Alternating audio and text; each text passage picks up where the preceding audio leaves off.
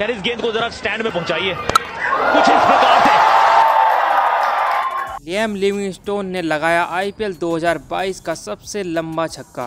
करीब 117 मीटर के इस लंबे छक्के के साथ लियाम लिविंगस्टोन ने आईपीएल में सबसे लंबे छक्के लगाने की हिस्ट्री में सातवें नंबर पर अपना नाम दर्ज कराया। लिविंगस्टोन कद काठी से काफ़ी लंबे चौड़े हैं और उनका बैट स्विंग भी काफ़ी तेज है तो हो सकता है आने वाले समय में उनके बैट से और भी लंबे छक्के देखने के लिए मिले। फ़िलहाल आईपीएल के सबसे लंबे छक्के लगाने की हिस्ट्री में एलवी मोर्कल है, जिन्होंने आईपीएल के 2008 सीज़न में, यानी कि पहले सीज़न में ही ये रिकॉर्ड बनाया था। मॉर्कल ने 125 मीटर का लंबा छक्का लगाकर ये रिकॉर्ड बनाया था, जिसको आईपीएल में 13 साल से भी ज़्यादा हो चुके हैं और ये रिकॉर्ड अभी तक कायम है। ये रिकॉर्ड कोई तोड़ पाएगा या नहीं, ये तो आने वाले समय में पता चलेगा। तो स्पोर्ट्स की ऐसी ही और वीडियो देखने के लिए चैनल को सब्सक्राइब और वीडियो को लाइक ज़रूर करें।